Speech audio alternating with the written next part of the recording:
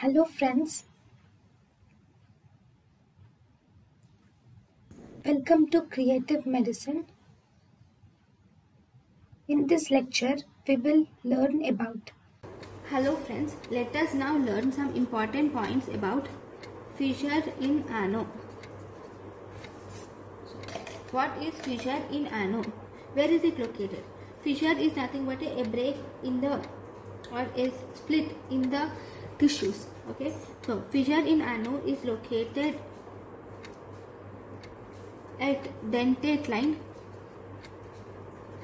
Usually it is located almost 2 centimeters below the anal verge. It is located 2 centimeters below the anal verge. So, what is fistula? You will see that there will be a in fistula in ano there will be a longitudinal split is present in the anoderm. There is longitudinal split in the anoderm from anal verge to dentate line. There is a longitudinal split in the anal term from anal verge to dentate line. So what is it located? What are the location? Location is it is present in posterior midline at 6 o'clock position. It is present in posterior midline at 6 o'clock position. So these fissures are of two types. We have acute fissures and we also have chronic fissures. There are acute fissures and chronic fissures. Actually, what do you see in chronic fissure? Chronic fissure, there is a triad which is present in chronic fissure. That is, there will be an ulcer because of the fissure that will form ulcer, which is corner shape, canoe shaped ulcers will be present, and there will be presence of sentinel pile, which is also called as there will be sentinel pile or skin tag will be there, and you will also see there will be hypertrophied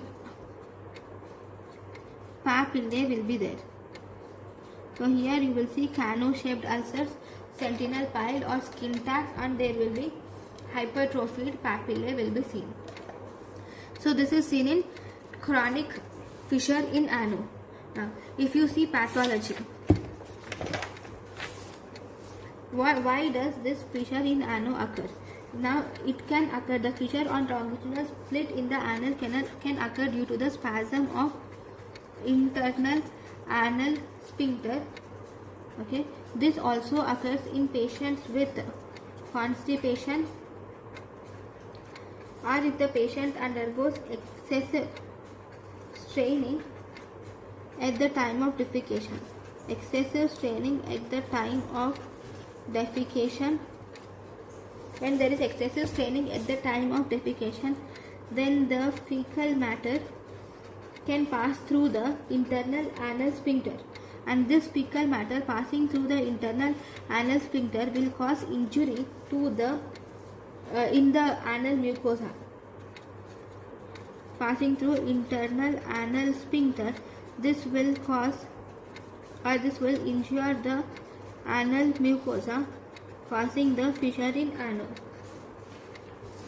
Okay? Now, whenever there is a tear or split in anoderm, that is anal mucosa, this will decrease the vascularity of that area. And why? Because of ischemia. This is due to ischemia. There is decreased vascularity due to ischemia. Uh, thus, there will be healing of tear decreases or slow.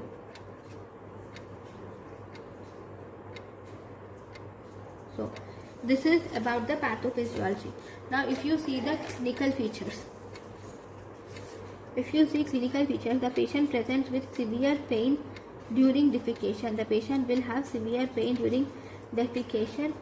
Then there will be sometimes streaking of blood over of blood over the stool will also be seen sometimes.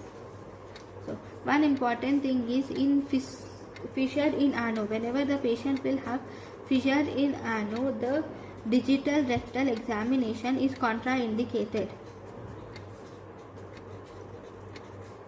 Examination is contraindicated. Then how do you confirm it? You will have to just examine the gluteal region. Examine the gluteal region and if you find a longitudinal split and if you find a longitudinal split in the midline if you find a longitudinal split in the posterior midline then it is you can confirm it has fissure in ano then how are you going to treat this condition? The treatment is first you should do initial management is conservative management. In the initial conservative treatment you should you should you can use sitz bath can be used. Then you can also use a stool softener. Okay this is initial conservative management. Then if you see you can also do medical treatment in the medical treatment you can give calcium channel blockers can be given which is 2% diltiazem gel can be used in local application.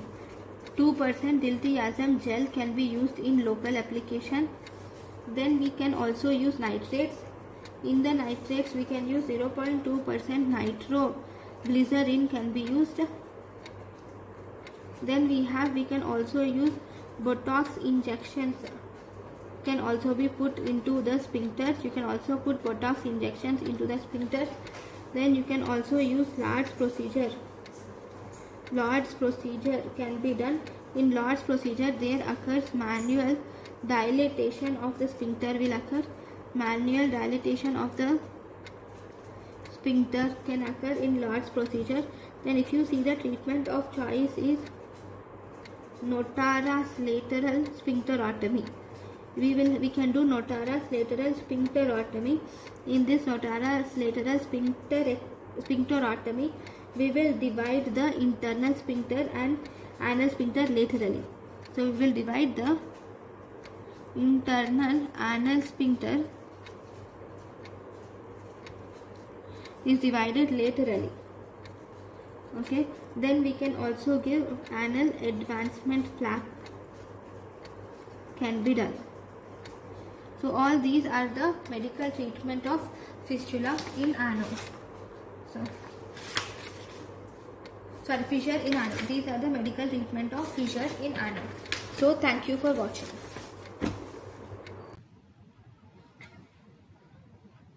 Thank you and thank you for watching.